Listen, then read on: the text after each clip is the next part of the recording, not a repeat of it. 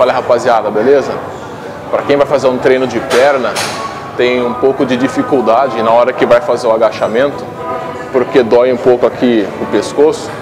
Vou ensinar uma técnica para vocês que eu aprendi com powerlifter e aprendi com um cara de strongman.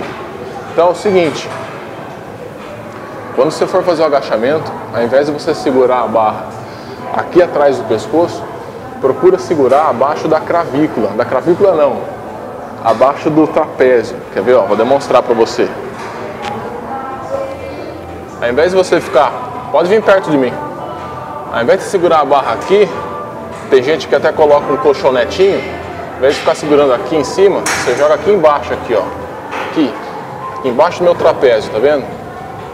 Segura, faz a pegada que você está acostumado a fazer. Ao invés de segurar aqui, você vai segurar aqui. Levanta. E aí você faz o seu agachamento normal, do jeito que você quiser.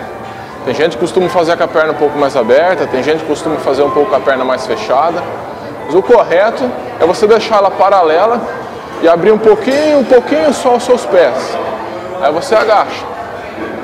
Tem gente que agacha até aqui, tem gente que faz agachamento até embaixo, aí você que vê.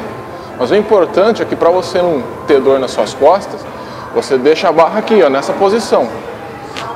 Não aqui em cima. Deixa ela escorregar um pouquinho, ó. Entendeu? No começo é difícil, porque você está acostumado a segurar ela aqui. Só que aí você não vai conseguir pegar muito peso, porque é óbvio que ela vai doer no seu trapézio.